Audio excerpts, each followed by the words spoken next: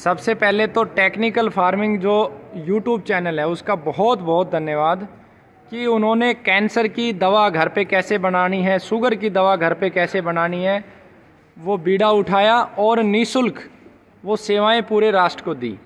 इस वीडियो के माध्यम से मैं सभी यूट्यूबर्स को आमंत्रित करता हूँ। जो भी यूट्यूबर्स हैं, वो चाहे बिहार के हों, पंजाब के हो, हरियाणा के कहीं के भी हों, हम पैसा नहीं दे सकते।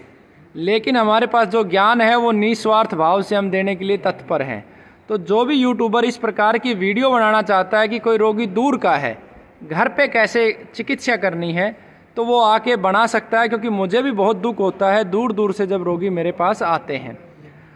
और टेक्निकल फ़ार्मिंग चैनल पे देख के एक रोगी मेरे पास है, जिन्होंने बिहार से दवा ली और उसका इतना अद्भुत परिणाम आया कि कितनी पेन किलर ले रहे थे वो? छः मोरफिन ले रहे थे जो कि अभी एक ले रहे हैं। छः मोरफिन वो ले रहे थे और इन्होंने टेक्निकल फ़ार्मिंग पे वो वीडियो देखी और उन दवाओं को दिया।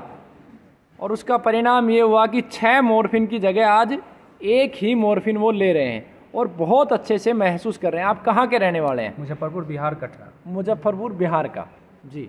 तो पहले कितने वो लेते थे मोरफिन? छः चार चार घंटे पे वो एक मोरफिन लेते थे उसके बाद बीच में भी जो है सो ज़्यादा दर्द पे ओवरडोज डॉक्टर बोले थे लेने जी।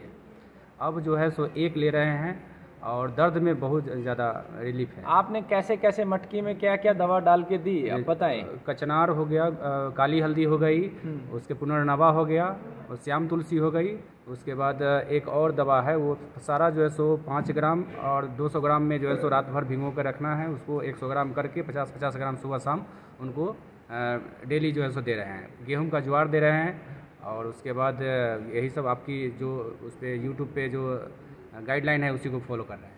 तो फिर से मैं टेक्निकल फ़ार्मिंग यूट्यूब चैनल का धन्यवाद करता हूँ और बहुत सारे यूट्यूब चैनल्स हैं। जो पैसे के लिए काम नहीं करते। बहुत सारे यूट्यूब चैनल्स वीडियो तब डालते हैं जब उनको कोई पैसा दिया जाता है।